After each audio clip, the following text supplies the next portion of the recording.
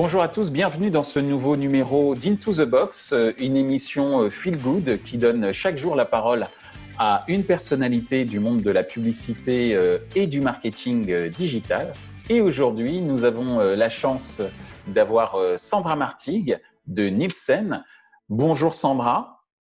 Bonjour Michel.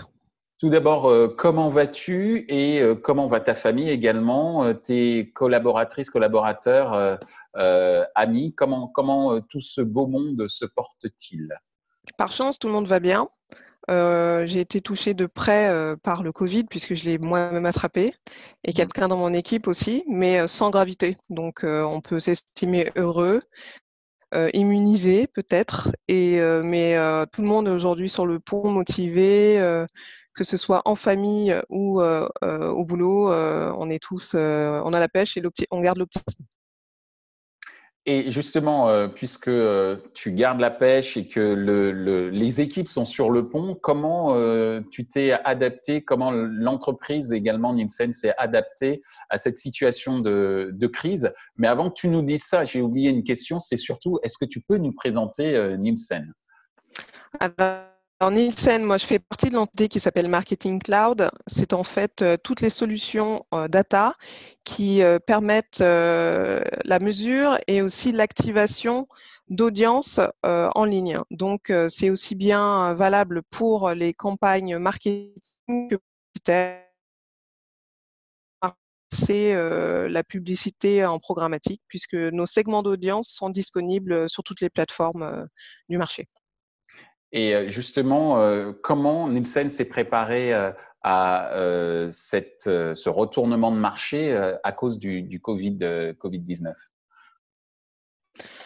bah, Nielsen, déjà, c'est une, vieille vieille dame qui a presque 100 ans avec, on va dire, une partie HR et humaine très développée.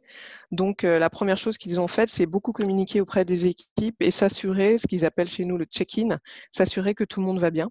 Donc, il y a eu tout un tas d'outils qui ont été mis en place pour déclarer ben, si on est touché par le Covid, comment les, il y a des systèmes de, des réseaux d'entraide au niveau international. on a eu, par exemple, quand la Chine a été touchée au tout départ, un fonds, en fait, une collecte mondiale pour aider nos collègues chinois. Euh, donc voilà, toute une chaîne en fait de solidarité qui s'est mise en place et euh, c'est vraiment l'ADN de, Nielsen, l'humain d'abord. Et donc aujourd'hui, on parle à nos managers euh, tous les jours. Moi-même, après, avec mes équipes, tous les soirs, on, on se fait ce qu'on appelle le huddle catch-up, c'est euh, on se fait un câlin virtuel, donc euh, on parle de tout et de rien, on fait des apéros, on essaye de garder le lien malgré la distance. Mmh et euh, après, nous, la chance qu'on a dans, chez Nielsen, c'est qu'on est déjà tout équipé pour travailler à distance, puisqu'on travaille sur, plusieurs marchés. Donc le télétravail en soi, c'est pas une grande nouveauté. Mais donc voilà. Alors justement, on parle beaucoup aujourd'hui de, de, cette après-crise, du fameux jour d'après sur la base de ce que tu vis euh, chez Nielsen et de ce que tu as mis en place et que Nielsen a mis en place et que tu viens d'évoquer, quels seraient pour toi, euh, les, conseils que, tu pourrais donner pour préparer l'après-crise? Alors pour moi, euh, je trouve que ce qu'on apprend avec cette situation, c'est à gérer le temps long. C'est-à-dire qu'on a toujours géré l'immédiateté, les briefs, c'est toujours pour hier, euh, les clients veulent toujours tout tout de suite, euh, etc. Or, aujourd'hui, on travaille sur le temps long et euh, c'est assez appréciable finalement d'être dans un rythme différent. en confinement, le temps est ralenti et non, seulement nous gagnons du temps en fait de productivité parce que on n'a plus les temps de transport, on a moins de, on va dire, on est moins entre guillemets dérangé par, par des collègues ou voilà. Et donc on a aussi le temps de s'informer, de se former et je pense qu'avec mes clients, euh, j'ai la chance de garder euh, les rendez-vous avec mes clients, l'attention est encore meilleure qu'avant. Donc euh, moi, ce que je conseille à, tous, c'est d'essayer de garder ces bénéfices en s'accordant un temps dédié pour développer que ce soit sa connaissance personnelle ou professionnelle, mais aussi prendre le temps de se déconnecter, puisque aujourd'hui on est dans un monde ultra connecté.